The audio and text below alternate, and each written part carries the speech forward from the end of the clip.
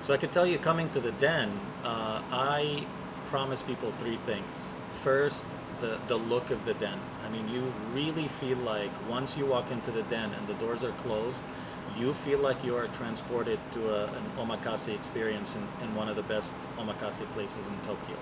Just look and feel wise. Then comes the actual food, which is, uh, you know, painstakingly uh, the, the chef painstakingly trains his team and is on top of them with everything the freshness of the fish which we fly in uh, from the Toyosu market in Tokyo. Uh, they butcher it daily. Uh, the rice has to be at the right temperature. Believe it or not the importance of rice in the omakase experience is something that is of the utmost importance. Sometimes even more important than the fish itself because you have to have the right uh, consistency of the rice. And you also have need, need the right balance of vinegar as well as the you need to serve it as the right temperature.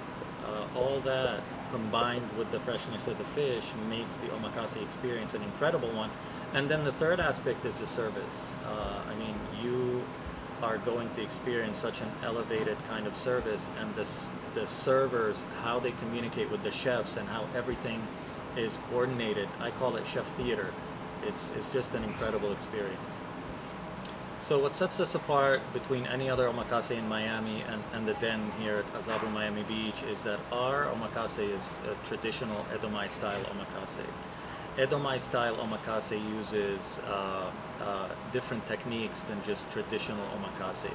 Basically we use pickling techniques, use of vinegar, marination techniques, this all started in the Edo period in Japan. Edo is the old name of Tokyo and it started in the 19th century. So believe it or not, before the 19th century, there was no nigiri or sushi in Japan. And how it started was, was the fish vendors would bring their fish to uh, the stalls where people were selling fish.